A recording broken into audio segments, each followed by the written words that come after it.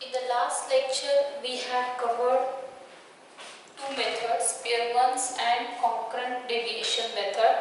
Now, third method is scatter diagram.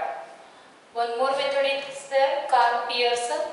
But in this lecture, we will discuss this third method, scatter diagram. What is scatter diagram? Mostly theoretical questions asked on this basis. It is graphical method can see I have shown everything in graphical form. It is used to study only type of correlation. Direction of plotted points is used to decide type of correlation. See total we have six type of correlation. On the basis of diagram you can see what we can call it as. Now let's see the first one. That is called perfect positive correlation. Perfect positive correlation. Now the question may ask perfect co positive correlation is upward direction or downward direction? You have to remember that it is upward direction and features are every point lies on the line see you can see each and every point is on the line and it is upward sloping and R is positive. Just to remember it, you can say UP positive, UP, Uttar Pradesh. So UP positive. So U, U stands for upward, P stands for perfect positive. Okay, so when perfect positive correlation comes, UP, so it will be upward sloping and R is positive. Next is perfect negative correlation. Now positive is over, positive is UP, upward sloping, perfect positive is upward sloping. Now next is perfect negative correlation. For this remember DP negative, DP, you all know DP. So you all use mobile so you all know DP. DP negative, D stands for downward, P perfect negative. So when dp comes it will be downward sloping.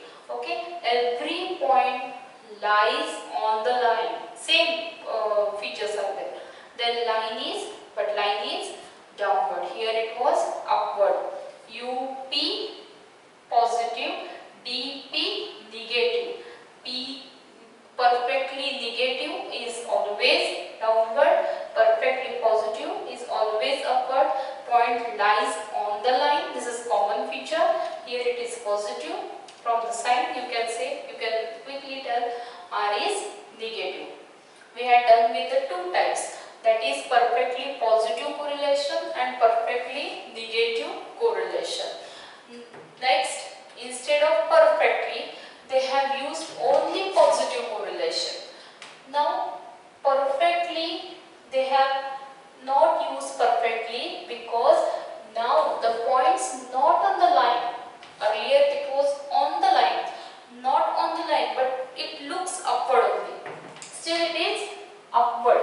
So it is called positive correlation. Same perfectly is in perfectly positive they lie on the same line here only positive so not on this line but it looks upward only the movements are upward only and r is in that case it is plus 1 but here less than 1 but more than 0 next negative correlation same points not on the same line but from there you can see that the movement is downward sloping so points are downward.